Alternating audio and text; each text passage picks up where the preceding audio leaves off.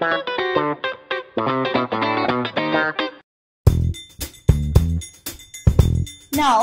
we are going to deal with galvanic cells and electrolytic cells, the two types of cells. Good good morning students ഇന്ന് നമ്മൾ ഇവിടെ discuss ചെയ്യാൻ പോകുന്നത് വളരെ important ആയിട്ടുള്ള കുറച്ച് ക്വസ്റ്റ്യൻസ് ആണ് അതായത് ഹാഫ് ഇയർലി പോർഷൻസിനെ ബേസ് ചെയ്തുകൊണ്ട് നമ്മൾ തയ്യാറാക്കിയിരിക്കുന്ന ചില ക്വസ്റ്റ്യൻസും അതിന്റെ ആൻസേഴ്സുമാണ് നമ്മൾ ഇന്ന് ഇവിടെ ഡിസ്കസ് ചെയ്യാൻ പോകുന്നത്. ഈ ക്വസ്റ്റ്യൻസ് എല്ലാം തന്നെ ഹാഫ് ഇയർലി എക്സാംസിന് മാത്രമല്ല പബ്ലിക് എക്സാമിനും പലതവണ റിപ്പീറ്റ് ചെയ്ത് ചോദിച്ചിട്ടുള്ള ക്വസ്റ്റ്യങ്ങൾ ക്വസ്റ്റ്യൻസുകളാണ് അതുകൊണ്ട് തന്നെ ഇനിയുമുള്ള എക്സാംസിനും ഈ ക്വസ്റ്റ്യൻസ് വീണ്ടും വീണ്ടും വീണ്ടും ചോദിക്കുമെന്നുള്ള കാര്യവും ഷുവർ തന്നെയാണ്. അപ്പൊ നമുക്ക് ക്വസ്റ്റ്യൻസിലേക്ക് കടക്കാം. ആദ്യത്തെ question electrolysis of molten sodium chloride is conducted. Then, which are the ions present in molten sodium chloride? എല്ലാവർക്കും ക്വസ്റ്റ്യൻ മനസ്സിലായി എന്ന് വിചാരിക്കുന്നു മോൾട്ടൺ സോഡിയം ക്ലോറൈഡിനെ നമ്മൾ ഇലക്ട്രോളിസിസ് നടത്തി അങ്ങനെ ഇലക്ട്രോളിസിസ് നടത്തുമ്പോൾ അങ്ങനെ ഇലക്ട്രോളിസിസ് നടത്തുമ്പോൾ കിട്ടുന്ന പ്രൊഡക്റ്റുകൾ എന്താണ് എന്ന് എല്ലാവർക്കും അറിയാവുന്നതാണ് അങ്ങനെയെങ്കിൽ ആദ്യത്തെ ക്വസ്റ്റ്യൻ എന്ന് പറയുന്നത് which are the ions present in molten sodium chloride molten sodium ക്ലോറൈഡിൽ present ആയിരിക്കുന്ന ions ഏതെല്ലാമാണ്? Second question which is gas liberated at the positive electrode during electrolysis electrolysis നടക്കുമ്പോൾ ഇവിടുത്തെ പോസിറ്റീവ് ഇലക്ട്രോഡിൽ ലിബറേറ്റ് ചെയ്യപ്പെടുന്ന ഗ്യാസ് ഏതാണ്? തേർഡ് ക്വസ്റ്റ്യൻ നോക്കൂ. Right the chemical equations of the reaction taking place at the cathode കാതോഡിൽ നടക്കുന്ന റിയാക്ഷന്റെ chemical equation എഴുതുക. ഇത് എല്ലാ ക്വസ്റ്റ്യൻ പേപ്പറും നിങ്ങൾ നോക്കിയാലും അറിയാം. നിങ്ങളുടെ പ്രീവിയസ് ക്വസ്റ്റ്യൻ പേപ്പേഴ്സ് നിങ്ങൾ നോക്കിയാൽ അറിയാം. ഈ ഒരു ക്വസ്റ്റ്യൻ ഒരു എപ്പോഴും ഒരു ത്രീ മാർക്ക് ക്വസ്റ്റ്യൻസിനകത്ത് ഉറപ്പായിട്ടുമുള്ള ഒരു ക്വസ്റ്റ്യൻ ആണ്. അതുകൊണ്ട് തന്നെ ഈ ക്വസ്റ്റ്യന്റെ പ്രാധാന്യം ഇതിന്റെ ഇമ്പോർട്ടൻസ് നിങ്ങൾ എല്ലാവരും മനസ്സിലാക്കേണ്ടതാണ് ഓക്കെ അപ്പൊ ഫസ്റ്റ് ക്വസ്റ്റ്യനിലേക്ക് ഒന്നുകൂടെ നമുക്ക് പോകാം. Which are the ions present in molten sodium chloride which are the ions present in molten sodium chloride yes it sodium ion and chloride ion okay sodium ion and chloride ion then which is a gas liberated at the positive electrode during electrolysis. ഇലക്ട്രോളിസിസിന് ശേഷം positive ഇലക്ട്രോഡായ ക്യാതോഡിൽ liberate ചെയ്യപ്പെടുന്ന gas ഏതാണ്? ഏത് gas ആയിരിക്കും? Yes it's chlorine gas okay chlorine gas ആയിരിക്കും അവിടുത്തെ പോസിറ്റീവ് ഇലക്ട്രോഡിൽ ലിബറേറ്റ് ചെയ്യപ്പെടുന്നത്. Then right the chemical equation of the reaction taking place at the cathode കാതോഡിൽ നടക്കുന്ന റിയാക്ഷൻ ഏതാണ്? റിഡക്ഷൻ ആണ് അല്ലെ? അപ്പോൾ നമുക്ക് എല്ലാവർക്കും റിഡക്ഷന്റെ ഇക്വേഷൻ അറിയാം. N A plus plus one electron gives N A sodium ഒരു ഇലക്ട്രോണിനെ അക്സെപ്റ്റ് ചെയ്തുകൊണ്ട് എന്ത് ചെയ്യും? സോഡിയം അറ്റമായി മാറും.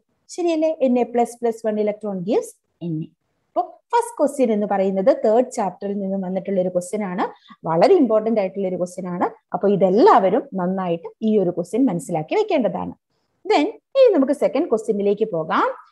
Important chemical equations of reactions taking place in a blast furnace are given. എന്താണ് ബ്ലാസ്റ്റ് ഫർണസ് ഈസ് അയണിന്റെ ഇൻഡസ്ട്രിയൽ പ്രിപ്പറേഷന് വേണ്ടി നമ്മൾ യൂസ് ചെയ്യുന്ന ഫർണസിനെയാണ് നമ്മൾ ബ്ലാസ്റ്റ് ഫർണസ് എന്ന് പറയുന്നത് അല്ലെ? അപ്പോൾ ആ ബ്ലാസ്റ്റ് ഫർണസിൽ നടക്കുന്ന ചില ഇമ്പോർട്ടന്റ് കെമിക്കൽ ഇക്വേഷൻസ് ആണ് തന്നിരിക്കുന്നത്. F E two O three plus three C O gives two F E plus three C O two then the second uh, second option CaCO3 gives CaO plus CO2 then CaO plus SiO2 gives CaSiO3 ഈ മൂന്ന് ഇക്വേഷൻസും നിങ്ങൾക്ക് എല്ലാവർക്കും വളരെയധികം പരിചിതമാണല്ലോ അല്ലെ? അങ്ങനെയെങ്കിൽ നമുക്ക് first ക്വസ്റ്റ്യനിലേക്ക് പോകാം. Option A what are the substances fed into the blast furnace along with the ore of anion okay what are the substances fed into the blast furnace along with the ore of iron. ഏതെല്ലാം സബ്സ്റ്റൻസുകളാണ് ഏതെല്ലാം വസ്തുക്കളാണ് നമ്മൾ blast ഫർണസിൽ അയണിനോടൊപ്പം നമ്മൾ add ചെയ്യുന്നത്? Yes അയണിന്റെ important ore ആയിട്ടുള്ള haematite അല്ലെ അയണിന്റെ ഓർ എന്ന് പറയുന്നത് ഹേമറ്റൈറ്റ് ആണ്. അപ്പോൾ ഉറപ്പായിട്ടും ഹേമറ്റൈറ്റ് വേണം. അതിനോടൊപ്പം തന്നെ നമ്മൾ എന്തൊക്കെയാണ് അതിലേക്ക് ആഡ് ചെയ്യുന്നത്? എസ് കാൽസ്യം കാർബണേറ്റ് എന്താണ് കാൽസ്യം കാർബണേറ്റ് യെസ് എന്താണ് calcium carbonate very good limestone ആണ് കാൽസ്യം കാർബണേറ്റ് അല്ലെ? ലൈം സ്റ്റോൺ ആണ് കാൽസ്യം കാർബണേറ്റ് അതിനോടൊപ്പം തന്നെ നമ്മൾ ഒരു കാര്യം കൂടി ആഡ് ചെയ്യുന്നുണ്ട് കോക്ക് അല്ലെ? കോക്ക് എന്ന് പറഞ്ഞാൽ എന്താണ്? അതിൽ എന്താണ് കൂടുതലായും ഉള്ളത്? യെസ് കാർബണിന്റെ ഒരു സോഴ്സ് ആണ് കോക്ക് എന്ന് പറയുന്നത്. അതുകൊണ്ട് നമ്മൾ അതിനോടൊപ്പം തന്നെ കോക്ക് ആഡ് ചെയ്യുന്നുണ്ട്. അപ്പോൾ ക്വസ്റ്റ്യന്റെ ആൻസർ എന്ന് പറയുന്നത് what are the substance fed into the blast furnace along with ore of iron എന്ന ആ ചോദ്യത്തിന്റെ ഉത്തരം എന്ന് പറയുന്നത് എന്തെല്ലാമാണ്? ഹെമറ്റൈറ്റ് ഹെമറ്റൈറ്റിനോടൊപ്പം നമ്മൾ കാൽസ്യം കാർബണേറ്റ് അതായത് calcium carbonate means limestone limestone and carbon rich ആയിട്ടുള്ള കോക്ക് കൂടി നമ്മൾ അതിലേക്ക് ആഡ് ചെയ്യുന്നുണ്ട്. Then which compound act as a reducing agent here? ഇവിടെ റെഡ്യൂസിങ് ഏജന്റ് ആയിട്ട് ഇക്വേഷൻ നിങ്ങൾ ശ്രദ്ധിച്ചു നോക്കൂ.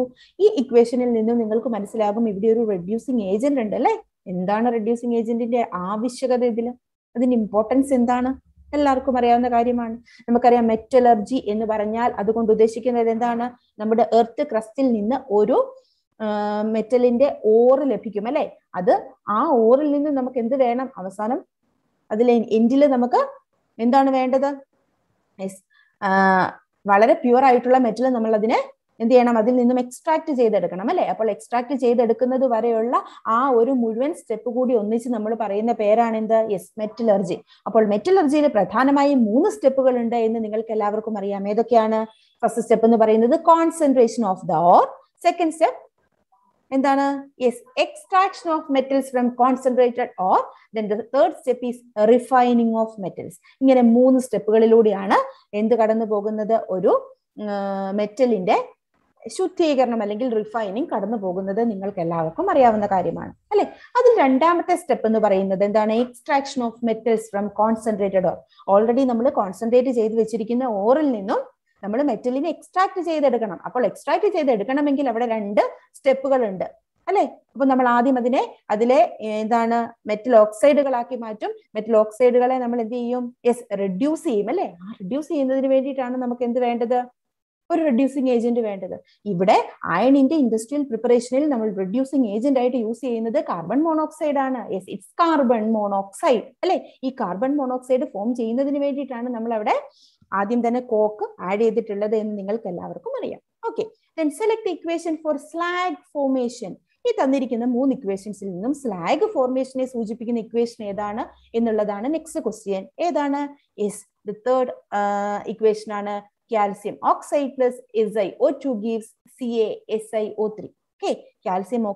സിലിക്കൺ ഡയോക്സൈഡുമായി ചേർന്ന് കാൽസ്യം സിലിക്കേറ്റ് ആയി മാറുന്നു.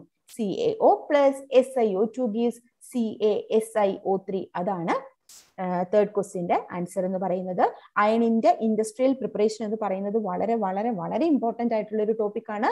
ഇത് വൺ മാർക്ക് ക്വസ്റ്റ്യൻസിനകത്ത് ഒരുപാട് തവണ അതിൽ ചോദിച്ചിട്ടുള്ളതാണ്.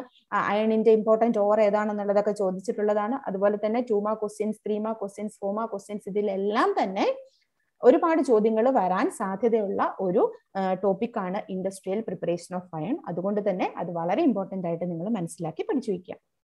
Then the third question the equation of the industrial production of ammonia is given below അമോണിയയുടെ ഇൻഡസ്ട്രിയൽ പ്രൊഡക്ഷൻ അമോണിയയുടെ വ്യാവസായിക നിർമ്മാണത്തെ സൂചിപ്പിക്കുന്ന ഒരു ഇക്വേഷൻ ഇവിടെ തന്നിട്ടുണ്ട്. N two plus three H two gives two N H three plus heat അല്ലെ? Nitrogen ഹൈഡ്രജനുമായി റിയാക്ട് ചെയ്ത് അമോണിയ ഫോം ചെയ്യുന്നുണ്ട്. അമോണിയ ഫോം ചെയ്യുന്നതിനോടൊപ്പം ഹീറ്റ് കൂടി ലിബറേറ്റ് ചെയ്യുന്നുണ്ട്. ഓക്കെ ഇതൊരു എന്താണ്? അമോണിയയുടെ ഇൻഡസ്ട്രിയൽ പ്രിപ്പറേഷനെ സൂചിപ്പിക്കുന്ന ഇക്വേഷൻ ആണ്. Okay then the first question is by which name the industrial production of ammonia is known? അമോണിയയുടെ ഇൻഡസ്ട്രിയൽ പ്രൊഡക്ഷൻ ഏത് പേരിലാണ് അറിയപ്പെടുന്നത്? യെസ് ഇറ്റ്സ് ഹേബർ പ്രോസസ് അല്ലെ? ഹേബർ പ്രോസസ് എന്ന പേരിലാണ് അറിയപ്പെടുന്നത്. Then what will be the effect of increased pressure in this reaction ഈ റിയാക്ഷനിൽ പ്രഷർ ഇൻക്രീസ് ചെയ്യുമ്പോൾ റിയാക്ഷൻ എന്ത് സംഭവിക്കും? പ്രഷർ ഇൻക്രീസ് ചെയ്യുമ്പോൾ forward reaction is also increases അല്ലെ? അതാണ് ഇവിടെ നടക്കുന്നത്. പ്രഷർ കൂടുമ്പോൾ ഫോർവേഡ് റിയാക്ഷൻ ഇൻക്രീസ് ചെയ്യും. Then what will happen if ammonia is removed from the system at regular intervals? അപ്പൊ ഈ ഹേബർ പ്രോസസ്സിൽ നൈട്രജൻ ഹൈഡ്രജനുമായി റിയാക്ട് ചെയ്ത് അമോണിയ ഉണ്ടായിക്കൊണ്ടേയിരിക്കുകയാണ്. അപ്പോൾ ഓരോ റെഗുലർ ഇന്റർവെൽസിലും നമ്മുടെ ഈ സിസ്റ്റത്തിൽ നിന്നും അമോണിയ റിമൂവ് ചെയ്തുകൊണ്ടിരിക്കുക. അപ്പൊ എന്തായിരിക്കും സംഭവിക്കുക? തീർച്ചയായിട്ടും യെസ് ഫോർവേഡ് റിയാക്ഷൻ ഇൻക്രീസ് ചെയ്യും. അതിനനുസരിച്ച് കൂടുതൽ പ്രൊഡക്റ്റുകൾ അവിടെ form ചെയ്തുകൊണ്ടേയിരിക്കും. Forward reaction increases more product will be formed അപ്പോൾ ഈ ഒരു ചാപ്റ്ററിൽ നിന്നും ഫിഫ്ത് ചാപ്റ്ററിൽ നിന്നും കോമ്പൗണ്ട്സ് ഓഫ് നോൺ മെറ്റൽസ് എന്ന ചാപ്റ്ററിൽ നിന്നും ഏറ്റവും പ്രധാനമായും ചോദിക്കുന്നത് അമോണിയയുമായി ബന്ധപ്പെട്ട ക്വസ്റ്റ്യൻസ് ആണ്. അത് തന്നെ അതുകൊണ്ട് തന്നെ ഈ ക്വസ്റ്റ്യൻസ് ഒക്കെ വളരെ ഇമ്പോർട്ടന്റ് ആണ്. ഇതിൽ വരുന്ന ഒരു കാര്യം കൂടിയാണ് ലേഷാറ്റ്ലിയർ പ്രിൻസിപ്പിൾ അപ്പോൾ ഈ ലേഷാറ്റ്ലിയർ പ്രിൻസിപ്പിൾ എന്താണെന്ന് ഓർത്തിരിക്കണം. മിക്കവാറും ടു മാർക്സ് അല്ലെങ്കിൽ ത്രീ മാർക്ക് ക്വസ്റ്റ്യൻസിനകത്ത് ഒരു ഓപ്ഷൻ ആയിട്ട് ലേഷാറ്റ്ലിയർ പ്രിൻസിപ്പിളിലൂടെ നിങ്ങളോട് ചോദിച്ചെന്നിരിക്കാം. എന്താണ് ലേഷാറ്റ്ലിയർ പ്രിൻസിപ്പിൾ എല്ലാവർക്കും അറിയാവുന്നതാണ് ലേഷാറ്റ്ലിയർ പ്രിൻസിപ്പിൾ എന്താണെന്നുള്ളത്. നമുക്കൊന്ന് പറഞ്ഞു നോക്കാം. When the concentration pressure or temperature of a system at equilibrium is changed, the system will readjust itself so as to nullify the effect of that change and attain a new state of equilibrium. ഇതാണ് Le Chatelier principle പറയുന്നത് okay അതായത് already chemical ഇക്വിലിബ്രിയത്തിൽ ഇരിക്കുന്ന ഒരു system ആ സിസ്റ്റത്തിലെ concentration pressure temperature എന്നിവയിൽ ഏതെങ്കിലും ഒന്നിനൊരു ചേഞ്ച് വരുത്തുകയാണെന്നുണ്ടെങ്കിൽ ആ സിസ്റ്റത്തിന് ഒരു മാറ്റം ഉണ്ടാകും ആ സിസ്റ്റത്തിന് ഒരു ചേഞ്ച് അനുഭവപ്പെടും. അപ്പോൾ ആ ചേഞ്ച് മൂലം ഉണ്ടാകുന്ന റിസൾട്ട് നള്ളിഫൈ ചെയ്യാൻ അല്ലെങ്കിൽ ഇല്ലായ്മ ചെയ്യാൻ വേണ്ടിയിട്ട് എന്ത് ചെയ്യും? ഈ സിസ്റ്റം തന്നെ ഒന്ന് റീഅഡ്ജസ്റ്റ് ചെയ്യും. ഒരു സ്വയം പുനഃക്രമീകരണം നടത്തി ഇതിന്റെ ഫലം അല്ലെങ്കിൽ ഇതിന്റെ റിസൾട്ട് നള്ളിഫൈ ചെയ്യും. അതാണ് ലേഷാർട്ട്ലിയർ പ്രിൻസിപ്പിൾ പറയുന്നത്. അപ്പം അതും വളരെ ഇമ്പോർട്ടന്റ് ആണ്. അത് നിങ്ങൾ പഠിച്ചിരുന്നേ മതിയാവും. ഓക്കെ ദെൻ നമുക്ക് ഫോർത്ത് ക്വസ്റ്റ്യനിലേക്ക് പോകാം. Some informations about an organic compound is given. Sixth ചാപ്റ്ററിൽ നിന്നുള്ള ഒരു ക്വസ്റ്റ്യൻ ആണ്. Some informations about an organic compound is given ഒരു ഓർഗാനിക് കോമ്പൗണ്ടിനെ സൂചിപ്പിക്കുന്ന ചില ഇൻഫോർമേഷൻസ് നിങ്ങൾക്ക് ഇവിടെ തന്നിട്ടുണ്ട്. നമുക്ക് നോക്കാം ആ informations എന്തൊക്കെയാണെന്നുള്ളത്. It has three carbon atoms in its main chain അതിന്റെ മെയിൻ ചെയിനിൽ മൂന്ന് കാർബൺ ആറ്റങ്ങൾ ഉണ്ട്. It has a hydroxyl group attached to it second carbon atom ആ മൂന്ന് ത്രീ കാർബൺ ആറ്റങ്ങളുള്ള മെയിൻ ചെയിനിലെ സെക്കൻഡ് കാർബൺ ആറ്റത്തിൽ ഒരു ഹൈഡ്രോക്സിൽ ഗ്രൂപ്പ് അറ്റാച്ച് ചെയ്തിട്ടുണ്ട്. അങ്ങനെയെങ്കിൽ ഫസ്റ്റ് ക്വസ്റ്റ്യൻ എന്ന് പറയുന്നത് right the structural formula of this organic compound ഈ ഓർഗാനിക് കോമ്പൗണ്ടിന്റെ സ്ട്രക്ചറൽ ഫോർമുല എഴുതുക. വളരെ ഈസിയാണ് അപ്പോൾ ഫസ്റ്റ് പോയിന്റ് അനുസരിച്ച് it has three carbon atoms in its main chain അപ്പോൾ നിങ്ങൾ ചെയ്യേണ്ടത് ഒന്നാമത്തെ കാർബൺ അല്ലെങ്കിൽ ആദ്യത്തെ ഓപ്ഷൻ അനുസരിച്ച് മെയിൻ ചെയിനിൽ മൂന്ന് കാർബൺ ആറ്റങ്ങൾ ഉണ്ട് എന്ന് മനസ്സിലാക്കിയാൽ നിങ്ങൾ ഫസ്റ്റ് ചെയ്യേണ്ടത് മൂന്ന് കാർബൺ ആറ്റങ്ങൾ നിങ്ങൾ എഴുതുക. ആ മൂന്ന് കാർബൺ ആറ്റങ്ങൾ തമ്മിൽ നിങ്ങൾ ഒരു സിംഗിൾ ബോണ്ട് ഉപയോഗിച്ച് ബന്ധിപ്പിക്കുക. അല്ലെങ്കിൽ അത് കണക്ട് ചെയ്യുക. കാരണം ഇവിടെ എന്താണ് ഡബിൾ ബോണ്ട് എന്നോ ട്രിപ്പിൾ ബോണ്ട് എന്നോ ഒന്നും പറഞ്ഞിട്ടില്ല. അപ്പൊ നമ്മൾ അതിൽ നിന്ന് മനസ്സിലാക്കേണ്ടത് ഇറ്റ് സിംഗിൾ ബോണ്ട് അപ്പോൾ നമ്മൾ മൂന്ന് കാർബൺ ആറ്റങ്ങളെയും ഓരോ സിംഗിൾ ബോണ്ട് ഉപയോഗിച്ച് കണക്ട് ചെയ്യുക. ഇനി ചെയ്യേണ്ട കാര്യം എന്ന് പറയുന്നത് സെക്കൻഡ് പോയിന്റ് നോക്കുക. It has a hydroxyl group attached to it second carbon atom അതിലെ രണ്ടാമത്തെ കാർബൺ ആറ്റത്തിൽ ഒരു ഹൈഡ്രോക്സിൽ ഗ്രൂപ്പ് ഉണ്ട്. അപ്പൊ നമുക്ക് നോക്കാം. മൂന്ന് കാർബൺ ആറ്റം ഉള്ള ചെയിൻ ലെഫ്റ്റിൽ നിന്ന് റൈറ്റിലേക്ക് നമ്മൾ നമ്പർ ചെയ്താലും റൈറ്റിൽ നിന്ന് ലെഫ്റ്റിലേക്ക് നമ്മൾ നമ്പർ ചെയ്താലും രണ്ടാമത്തെ കാർബൺ ആറ്റത്തിന് ചേഞ്ച് ഒന്നുമില്ല അതിന്റെ നമ്പർ എപ്പോഴും സെയിം ആണ്. അപ്പോൾ സെക്കൻഡ് കാർബൺ ആറ്റം നമ്മൾ എടുക്കുന്നു. അതിൽ നമ്മൾ ഒരു ഓച്ച് ഹൈഡ്രോക്സിൽ ഗ്രൂപ്പ് നമ്മൾ അതിലേക്ക് റൈറ്റ് ചെയ്യാം. എഴുതുക. ഓക്കെ ഇനി ചെയ്യേണ്ടത് ഈ മൂന്ന് കാർബൺ ആറ്റങ്ങളുടെയും വാലൻസി കംപ്ലീറ്റ് ചെയ്യുക എന്നുള്ളതാണ്. അപ്പൊ നമുക്കറിയാം കാർബണിന്റെ വാലൻസി നാലാണ്. അപ്പോൾ കാർബണിന്റെ വാലൻസി കംപ്ലീറ്റ് ചെയ്യാൻ വേണ്ടി ഒന്നാമത്തെ കാർബൺ ആറ്റത്തിൽ മൂന്ന് ഹൈഡ്രജൻ ആറ്റങ്ങൾ കൂടി ചേർക്കുന്നു. സി എച്ച് ത്രീ എന്നാകുന്നു. Then single bond C H ആ കാർബണിലേക്ക് ഒരു എന്തുണ്ട്? ഹൈഡ്രോക്സിൽ ഗ്രൂപ്പ് ഉണ്ട്. അപ്പോൾ C H O H then the third carbon ആറ്റത്തിൽ valency ഇപ്പോഴും ഒന്നേ ഉള്ളൂ. അത് മൂന്ന് ഹൈഡ്രജൻ ആറ്റം കൂടി അവിടെ ഉണ്ടെങ്കിൽ കാർബണിന്റെ വാലൻസി നാലാകൂ. സോ നമ്മൾ സി എച്ച് ത്രീ എന്ന് എഴുതുന്നു. അപ്പോൾ C H three C H O H C H three എന്നുള്ളതാണ് ഈ കോമ്പൗണ്ടിന്റെ സ്ട്രക്ചറൽ ഫോർമുല രണ്ടാമത്തെ കാർബൺ ആറ്റത്തിൽ ഒരു ഒ എച്ച് ഗ്രൂപ്പ് വന്നിരിക്കുന്നത് കൊണ്ടും മെയിൻ ചെയിനിന്റെ വേർഡ് റൂട്ട് മൂന്ന് കാർബൺ ആറ്റങ്ങൾ ഉള്ളത് കൊണ്ട് അത് പ്രൊപ്പൈൻ ആണെന്ന് നിങ്ങൾക്കറിയാം. അതുകൊണ്ട് അതിന്റെ പേരാണ് പ്രൊപ്പൻ ടു ഓൾ അപ്പോൾ എപ്പോഴും ഓർഗാനിക് കോമ്പൗണ്ടുകളുടെ സ്ട്രക്ചറൽ ഫോർമുല എഴുതുന്നത് എഴുതുന്നതിനോടൊപ്പം തന്നെ എന്തുകൂടി നിങ്ങൾ ശ്രദ്ധിക്കേണ്ടതുണ്ട്? യെസ് അതിന്റെ naming I U P S C naming കൂടി നിങ്ങൾ ശ്രദ്ധിക്കേണ്ടതുണ്ട്. അപ്പോൾ ഉറപ്പായിട്ടും ഒന്നുകിൽ സ്ട്രക്ചറൽ ഫോർമുല എഴുതാനായിരിക്കും ചോദിക്കുക അല്ലെങ്കിൽ I U P S C name ആയിരിക്കും എഴുതാൻ ചോദിക്കുക. ചിലപ്പോൾ I U P S C name തന്നിട്ട് സ്ട്രക്ചർ എഴുതാൻ പറയും ചിലപ്പോൾ സ്ട്രക്ചർ തന്നിട്ട് I U P S C name എഴുതാൻ പറയും. ഓക്കെ അപ്പോൾ വളരെ ഇമ്പോർട്ടന്റ് ആണ് ഈ ഒരു പോർഷൻ ഒരുപാട് മാർക്ക് സ്കോർ ചെയ്യാൻ പറ്റുന്ന അല്ലെങ്കിൽ ഒരുപാട് മാർക്ക് ഉള്ള ചോദ്യങ്ങൾ വരുന്ന ഒരു ടോപ്പിക്കാണിത് okay then the second question is right it's molecular formula അതിന്റെ മോളിക്കുലാർ ഫോർമുല എഴുതാൻ പറഞ്ഞിട്ടുണ്ട്. C H three C H O H C H three എത്ര കാർബൺ ആറ്റങ്ങൾ അതിൽ മൂന്ന് കാർബൺ ആറ്റങ്ങൾ സി ത്രീ എത്ര ഹൈഡ്രജൻ ആറ്റങ്ങൾ ഉണ്ട് നമുക്ക് കാണുമ്പോൾ തന്നെ അറിയാം. സി എച്ച് ത്രീയിൽ ത്രീ ഹൈഡ്രജൻ സി എച്ചിൽ ഒരെണ്ണം ദെൻ വീണ്ടും സി എച്ച് ത്രീ മൂന്ന് ദെൻ ഒ എച്ചിൽ ഒരു ഹൈഡ്രജൻ എട്ട് ഹൈഡ്രജൻ ആറ്റങ്ങൾ ഉണ്ട് eight hydrogen atoms are there so C three H eight O എന്നുള്ളതാണ് അതിന്റെ molecular formula. Then write the structural formula of a functional isomer of this compound and write the IUPAC name of this isomer. ഇപ്പോൾ പറഞ്ഞിരിക്കുന്ന ഇപ്പോൾ നമ്മൾ structural formula എഴുതിയ C H three C H O H C H three അതായത് propan two ol എന്ന് പറയുന്ന കോമ്പൗണ്ടിന്റെ ഒരു functional isomer എഴുതാൻ പറഞ്ഞിട്ടുണ്ട്. വളരെ ഈസിയാണ് ഫംഗ്ഷണൽ ഐസോമർ എഴുതാൻ പറ്റുക. ഏതാണ് functional isomer yes C H three O C H two C H three അല്ലെങ്കിൽ C H three C H two O C H three എന്ന് എഴുതിയാലും ശരിയാണ്. കാരണം അതിന്റെ പേരെന്താണ്? അതിന്റെ I U P S C name എങ്ങനെയായിരിക്കും? മിഥോക്സി ഈഥെയിൻ എന്നുള്ളതാണ് അതിന്റെ I U P S C name അപ്പോൾ പ്രൊപ്പൻ ടു ഓൾ എന്ന് പറയുന്ന ഒരു കോമ്പൗണ്ട് വന്നാൽ അതിന്റെ ഫംഗ്ഷണൽ ഐസോമർ എഴുതാൻ പറഞ്ഞാൽ അത് സ്വാഭാവികമായിട്ടും ഏത് തന്നെയായിരിക്കും? മിഥോക്സി ആയിരിക്കും. C H three O C H two C H three ആയിരിക്കും. അത് വളരെ ഇമ്പോർട്ടന്റ് ആണ് ഓർത്തിരിക്കുക. Then fifth question aluminium is the most abundant metal of the earth crust we know that aluminium is the most abundant metal of the earth നമ്മുടെ ഭൂവൽക്കത്തിൽ ഏറ്റവും കൂടുതൽ കാണപ്പെടുന്ന ഒരു മെറ്റലാണ് ലോഹമാണ് അലൂമിനിയം അല്ലെ? name the ore of aluminium അലൂമിനിയത്തിന്റെ important or ഏതായിരിക്കും it's bauxite okay l2o3 to h2o it's bauxite okay then the second question this ore is concentrated by leaching we know that the ore of aluminium is concentrated by the process leaching what is meant by leaching എന്താണ് leaching എന്നതുകൊണ്ട് ഉദ്ദേശിക്കുന്നത് what is leaching the ore is dissolved in a suitable solvent and the impurities are filtered off this method is known as leaching. അല്ലേ അപ്പോ എന്താണ്? Leaching എന്ന് പറയുന്നത് നമ്മൾ ഓറിനെ concentration ചെയ്യുന്നതിന് വേണ്ടിയിട്ട് ഉപയോഗിക്കുന്ന ഒരു മാർഗമാണ് അല്ലെ?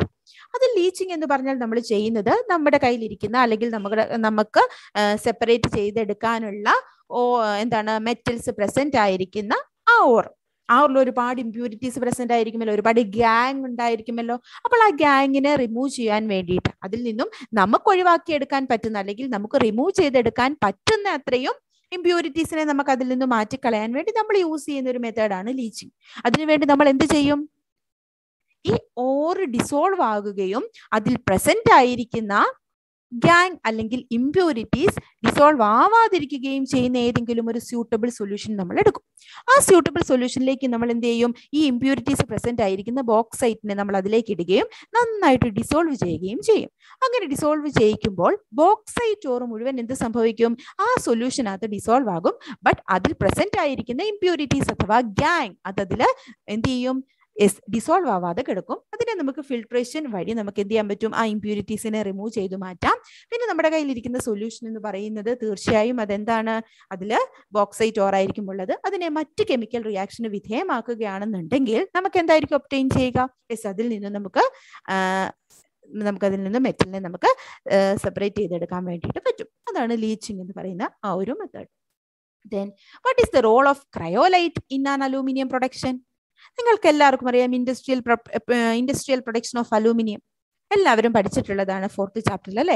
പ്രൊഡക്ഷൻ ഓഫ് മെറ്റൽസ് എന്ന് പറയുന്ന ചാപ്റ്ററിൽ വളരെ ഇമ്പോർട്ടന്റ് ആയിട്ട് പഠിക്കാനുള്ളത് രണ്ട് മെറ്റൽസിന്റെ ഇൻഡസ്ട്രിയൽ പ്രിപ്പറേഷൻസ് ആണ്. ഒന്ന് അയണിന്റെ ഇൻഡസ്ട്രിയൽ പ്രിപ്പറേഷൻ രണ്ട് അലൂമിനിയത്തിന്റെ ഇൻഡസ്ട്രിയൽ പ്രിപ്പറേഷൻ വളരെ ഇമ്പോർട്ടന്റ് ആയതുകൊണ്ട് ഇതിൽ രണ്ടിൽ നിന്നും ഒരുപാട് ചോദ്യങ്ങൾ വരാം. സോ ഇവിടെ ചോദിച്ചിരിക്കുന്ന ക്വസ്റ്റ്യൻ എന്ന് പറയുന്നത് what is the role of cryolite in an aluminium production aluminium പ്രൊഡക്ഷനിൽ ക്രയോലൈറ്റിന്റെ റോൾ എന്താണ്? ഒരിക്കലും എന്താണ് എങ്ങനെയാണ് അലൂമിനിയം പ്രൊഡക്ഷൻ നടത്തുക അല്ലെങ്കിൽ ഇലക്ട്രോളിസിസ് ഓഫ് അലൂമിന എന്താണെന്ന് ഒരിക്കലും ചോദിക്കില്ല. ഈ ഒരു രീതിയിലായിരിക്കും അതിൽ നിന്നും ക്വസ്റ്റ്യൻസ് വരിക. ഓക്കെ അപ്പോൾ അലൂമിനിയം പ്രൊഡക്ഷനിൽ ക്രയോലൈറ്റിന്റെ റോൾ എന്താണ് എന്നൊരു ചോദ്യം ഉറപ്പായിട്ടും നിങ്ങൾക്ക് പ്രതീക്ഷിക്കാം. നമുക്കറിയാം ഇലക്ട്രോളിസിസ് നടത്തണമെന്നുണ്ടെങ്കിൽ ആനോഡ് വേണം ക്യാതോഡ് വേണം ഇലക്ട്രോലൈറ്റ് വേണം. അപ്പോൾ അലൂമിന ഇലക്ട്രോളിസിസ് നടത്തുമ്പോൾ നമ്മൾ അവിടെ ഉപയോഗിക്കുന്ന ഇലക്ട്രോൾ ഇലക്ട്രോലൈറ്റ് എന്ന് പറയുന്നത് എന്താണ്? മോൾട്ട് അലൂമിനിയാണ് അല്ലെ? ഇതിനോടൊപ്പം നമ്മൾ അല്പം ക്രയോലൈറ്റ് കൂടി ഇലക്ട്രോലൈറ്റ് ആയിട്ട് ചേർക്കാറുണ്ട്. അതായത് അലൂമിനിയും ക്രയോലൈറ്റും കൂടി മിക്സ് ചെയ്താണ് നമ്മൾ എപ്പോഴും ഇലക്ട്രോലൈറ്റ് ആയിട്ട് എടുക്കുന്നത്. കാരണം എന്താണ് അലൂമിനിയുടെ പ്രത്യേകത? അലൂമിനിക്ക് മെൽറ്റിംഗ് പോയിന്റ് വളരെയധികം കൂടുതലും അതുപോലെ തന്നെ അതിന്റെ ഇലക്ട്രിക്കൽ കണ്ടക്ടിവിറ്റി വളരെയധികം കുറവുമാണ്. അപ്പോൾ നമ്മൾ അതിലേക്ക് ക്രയോലൈറ്റ് ആഡ് ചെയ്യും. ക്രയോലൈറ്റ് ആഡ് ചെയ്യുമ്പോൾ അലൂമിനിയുടെ മെൽറ്റിംഗ് പോയിന്റ് അത് ലോവർ ചെയ്യിക്കുകയും ഇലക്ട്രിക്കൽ കണ്ടക്ടിവിറ്റി ഇൻക്രീസ് ചെയ്യുകയും ചെയ്യും. മനസ്സിലായോ? അപ്പോൾ അതുകൊണ്ടാണ് നമ്മൾ എന്ത് ചെയ്യുന്നത്? ക്രയോലൈറ്റ് ആഡ് ചെയ്യുന്നത്. ഇലക്ട്രോളിസിസ് നടക്കണമെങ്കിൽ ഇലക്ട്രിക്കൽ കണ്ടക്ടിവിറ്റി കൂടിയേ തീരൂ. അപ്പോൾ അലൂമിനിക്ക് സ്വാഭാവികമായും ഇലക്ട്രിക്കൽ കണ്ടക്ടിവിറ്റി താരതമ്യേന കുറവാണ്. അപ്പോൾ ക്രയോലൈറ്റ് ആഡ് ചെയ്യുമ്പോൾ ക്രയോലൈറ്റ് അലൂമിനിയുടെ ഇലക്ട്രിക്കൽ കണ്ടക്ടിവിറ്റി കുറച്ചുകൊണ്ട് എന്ത് ചെയ്യും? സോറി അലൂമിന ഇലക്ട്രിക്കൽ കണ്ടക്ടിവിറ്റി കൂട്ടും അതുപോലെ മെൽറ്റിംഗ് പോയിന്റ് കുറയ്ക്കും. അതായത് അലൂമിനിയുടെ മെൽറ്റിംഗ് പോയിന്റ് കുറച്ചുകൊണ്ട് ഇലക്ട്രിക്കൽ കണ്ടക്ടിവിറ്റി ഇൻക്രീസ് ചെയ്യിക്കും. അതിനു വേണ്ടിയിട്ടാണ് നമ്മൾ ക്രയോലൈറ്റ് ആഡ് ചെയ്യുന്നത്. Okay then the next question give the name on any one use of an alloy of aluminum. അലുമിനിയത്തിന്റെ ഏറ്റവും ഇമ്പോർട്ടന്റ് ആയിട്ടുള്ള ഒരു അലോയാണ് അൽനിക്കോ അൽനിക്കോ സാധാരണയായി നമ്മൾ ഉപയോഗിക്കുന്നത് സ്ട്രോങ് മാഗ്നറ്റുകൾ പ്രൊഡ്യൂസ് ചെയ്യുന്നതിന് വേണ്ടിയിട്ടാണ്. Used to produce strong magnet okay strong മാഗ്നറ്റുകൾ produce ചെയ്യുന്നതിന് വേണ്ടിയിട്ടാണ് നമ്മൾ സാധാരണയായി അൽനിക്കോ ഉപയോഗിക്കുന്നത്. ഓക്കെ ദെൻ നെക്സ്റ്റ് ക്വസ്റ്റ്യനിലേക്ക് പോവുകയാണ്. Question number six the structure of a hydrocarbon is given below ഒരു ഹൈഡ്രോ കാർബണിന്റെ സ്ട്രക്ചർ ഇവിടെ തന്നിട്ടുണ്ട്. Okay C H three C H two C H two C H three C H two C H three ഇതാണ് compound then നിങ്ങളോട് ചോദിച്ചിരിക്കുന്ന question നോക്കൂ. How many carbon atoms are there in the main chain which is the word root ഈ തന്നിരിക്കുന്ന കോമ്പൗണ്ടിലെ main chain ഏതാണ്? അപ്പൊ നമ്മൾ എപ്പോഴും നമുക്ക് എല്ലാവർക്കും അറിയാവുന്ന കാര്യമാണ്. എന്താണ്? ഒരു കോമ്പൗണ്ടിന് നമ്മൾ I U P S C name അതായത് ബ്രാഞ്ച് വരുന്ന ഒരു കോമ്പൗണ്ടിന് I U P S C name കൊടുക്കുമ്പോൾ നമ്മൾ നോക്കേണ്ട ഒന്നാമത്തെ പോയിന്റ് എന്ന് പറയുന്നത് ഏറ്റവും ലോങ്ങസ്റ്റ് ചെയിൻ ഏതാണ് എന്ന് നോക്കുക. ആ ലോങ്ങസ്റ്റ് ചെയിനെയാണ് നമ്മൾ മെയിൻ ചെയിൻ ആയിട്ട് എടുക്കുക. അപ്പൊ നമുക്ക് നോക്കാം. ഇവിടെ നിന്ന് ഇങ്ങനെ നോക്കിയാൽ വൺ ടു ത്രീ ഫോർ ഇവിടെ നാല് കാർബൺ ആറ്റം ഉള്ള ഒരു ചെയിൻ നമുക്ക് കാണാൻ പറ്റുന്നുണ്ട്. ഇനി അതേസമയം നിങ്ങൾ നോക്കൂ. One two three four five ഇവിടെ ഫൈവ് കാർബൺ ആറ്റംസ് ഉള്ള മറ്റൊരു ചെയിനും നമുക്ക് കാണാൻ പറ്റുന്നുണ്ട് അല്ലേ അപ്പോൾ നമ്മൾ എപ്പോഴും ശ്രദ്ധിക്കേണ്ട കാര്യം നമുക്ക് വേണ്ടത് ഏറ്റവും ലോങ്ങസ്റ്റ് ആയിട്ടുള്ള കാർബൺ ചെയിൻ ഏതാണോ ആ കാർബൺ ചെയിൻ ആയിരിക്കണം മെയിൻ ചെയിൻ അപ്പോൾ ഇവിടെ പറഞ്ഞ ഈ അഞ്ച് കാർബൺ ആറ്റങ്ങളുള്ള ചെയിനിനെയാണ് നമ്മൾ മെയിൻ ചെയിൻ ആയിട്ട് എടുക്കുന്നത്.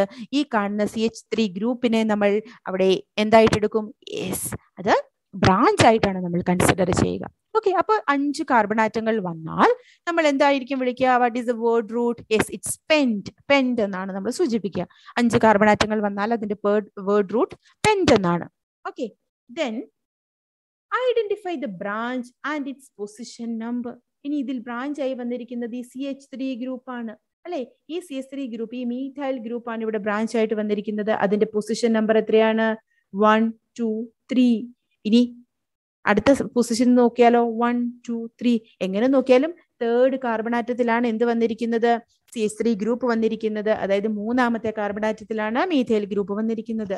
Then write the I U P C name of this compound ഈ കോമ്പൗണ്ടിന്റെ I U P C name എഴുതാനാണ് നെക്സ്റ്റ് ക്വസ്റ്റ്യൻ വളരെ ഈസിയാണ് മൂന്നാമത്തെ കാർബൺ ആറ്റത്തിൽ ഒരു മീഥൈൽ ഗ്രൂപ്പ് ഉണ്ട്.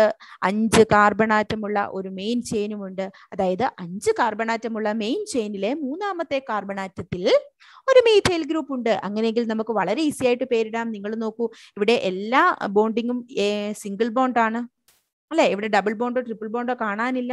അതുകൊണ്ട് ഈ അഞ്ച് കാർബൺ ആറ്റങ്ങളും തമ്മിൽ ചേർന്നിരിക്കുന്നത് എങ്ങനെയാണ്? എസ് ഡബിൾ ഡബിൾ ബോണ്ട് ഉപയോഗിച്ചാണോ? അതോ ട്രിപ്പിൾ ബോണ്ട് ഉപയോഗിച്ചാണോ? ഒരിക്കലുമല്ല സിംഗിൾ ബോണ്ടുകളിലൂടെയാണ് ഈ അഞ്ച് കാർബൺ ആറ്റങ്ങളും കണക്ട് ചെയ്തിരിക്കുന്നത്. അതുകൊണ്ട് തന്നെ നമുക്ക് ഇതിനെ എന്ത് വിളിക്കാം? പെന്റെയിൻ എന്ന് വിളിക്കാം.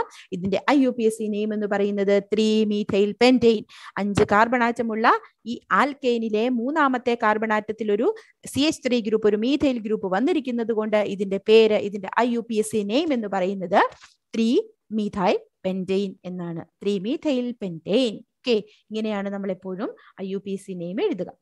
Then seventh question match columns A B and C suitably മൂന്ന് കോളങ്ങൾ തന്നിട്ടുണ്ട് A B and C column എയിൽ പറഞ്ഞിരിക്കുന്നത് ചില ഓറുകളുടെ ക്യാരക്ടറിസ്റ്റിക് പ്രോപ്പർട്ടി ആണെങ്കിൽ ബിയിൽ മെത്തേഡ് ഓഫ് കോൺസെൻട്രേഷൻ ആണ് തന്നിരിക്കുന്നത്. സി എക്സാമ്പിളും തന്നിട്ടുണ്ട്. അപ്പൊ നമുക്ക് നോക്കാം. ഇത് നമുക്കൊന്ന് മാച്ച് ചെയ്തിടണം എയിലെയും ബിയിലെയും സിയിലെയും തന്നിരിക്കുന്ന പോയിന്റുകളെല്ലാം നമുക്കൊന്ന് മാച്ച് ചെയ്തെഴുതണം അതിനുവേണ്ടി നമ്മൾക്ക് ഫസ്റ്റ് കോളം എയിലേക്ക് പോകാം. Ore particles are heavier than the impurities then ore particles are lighter than the impurities magnetic nature of for column B നോക്കൂ.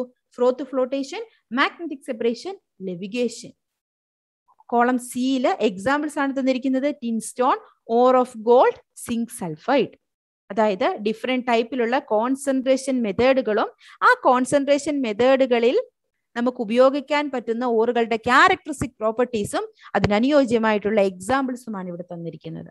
ഓക്കെ അതിൽ നിന്ന് നമുക്ക് വളരെ ഈസി ആയിട്ട് ഇത് കണ്ടുപിടിക്കാം. Ore particles are heavier than the impurities which method is used ore particles are heavier than the impurities ore particles ഇമ്പ്യൂരിറ്റീസിനേക്കാൾ heavier ആണെന്നുണ്ടെങ്കിൽ എന്തായിരിക്കും സംഭവിക്കുക? യെസ് ലെവിഗേഷൻ അല്ലെങ്കിൽ ഹൈഡ്രോളിക് വാഷിംഗ് എന്ന് പറയുന്ന മാർഗമാണ് നമ്മൾ ഉപയോഗിക്കുക. അപ്പോൾ അതിന് എക്സാമ്പിൾ ആണ് ഓർ ഓഫ് ഗോൾഡ് അല്ലെ? ഗോൾഡിന്റെ ore then ore particles are lighter than the impurities ഇംപ്യൂരിറ്റീസിനെക്കാളും lighter ആണ് ഓർ പാർട്ടിക്കിൾ എങ്കിൽ നമ്മൾ ഏത് മെത്തേഡ് യൂസ് ചെയ്യും? ഇറ്റ്സ് ഫ്രോത്ത് ഫ്ലോട്ടേഷൻ ആണ് അല്ലെ? ഫ്രോത്ത് ഫ്ലോട്ടേഷൻ ആണ് ഉപയോഗിക്കുന്നത്.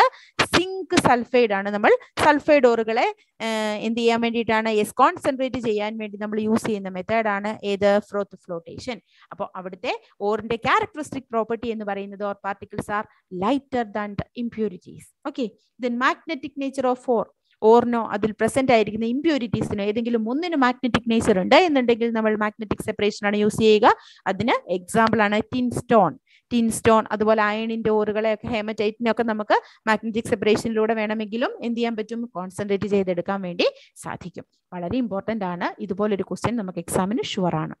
Then eight question the structure of two organic compounds are given below രണ്ട് ഓർഗാനിക് കോമ്പൗണ്ടുകളുടെ സ്ട്രക്ചറുകൾ തന്നിട്ടുണ്ട്. C H three C H two C H two C H two O H C H three C H two O C H two C H three okay right the molecular formula of these compounds ഈ രണ്ട് കോമ്പൗണ്ടുകളുടെയും molecular formula ചോദിച്ചിട്ടുണ്ട്. നമുക്ക് നോക്കാം. ഒന്നാമത്തെ കോമ്പൗണ്ടിന്റെ molecular formula എഴുതണമെങ്കിൽ നമുക്ക് അതിൽ എത്ര കാർബൺ ആറ്റങ്ങളും എത്ര ഹൈഡ്രജൻ ആറ്റങ്ങളും എത്ര ഓക്സിജൻ ആറ്റങ്ങളും ഉണ്ട് എന്ന് അറിയണം. ഇവിടെ നോക്കൂ. എത്ര കാർബൺ ആറ്റങ്ങളുണ്ട് വൺ ടു ത്രീ ഫോർ നാല് കാർബൺ ആറ്റങ്ങൾ three two two two three plus two five five plus two seven five seven plus two nine then nine plus one ten അതായത് ഇവിടെ ടെൻ ഹൈഡ്രജൻ ആറ്റംസ് ഉണ്ട്. ഒരു oxygen ആറ്റവും ഉണ്ട്. So C four H ten O എന്നുള്ളതാണ് ഒന്നാമത്തെ കോമ്പൗണ്ടിന്റെ molecular formula then second കോമ്പൗണ്ടിലും C H three C H two O C H two C H three ആ കോമ്പൗണ്ടിലും എത്ര കാർബൺ ആറ്റങ്ങൾ നാല് കാർബൺ ആറ്റങ്ങൾ പത്ത് ഹൈഡ്രജൻ ആറ്റങ്ങൾ ഒരു ഓക്സിജൻ ആറ്റം അതിന്റെയും molecular formula C four H ten O തന്നെയാണ്. അതായത് രണ്ട് കോമ്പൗണ്ടുകളുടെയും മോളിക്കുലർ ഫോർമുല സെയിം ആണ് but it structural formula is different okay അതാണ് നമ്മൾ അതിൽ നിന്നും മനസ്സിലാക്കേണ്ട കാര്യമാണ്. Which type of isomerism do they ex exhibit ഇവയിൽ ഈ രണ്ട് കോമ്പൗണ്ടിലും ഏത് ഐസോമറിസം ആണ് വന്നിരിക്കുന്നത് എന്ന് വളരെ വ്യക്തമായിട്ട് നിങ്ങൾക്ക് മനസ്സിലാകും. എന്താണ്? Yes it's functional group isomerism ഒന്നാമത്തെ കോമ്പൗണ്ടിൽ ഒ എച്ച് എന്ന് പറയുന്ന ഹൈഡ്രോക്സിൽ ഗ്രൂപ്പ് ആണ് അല്ലെ?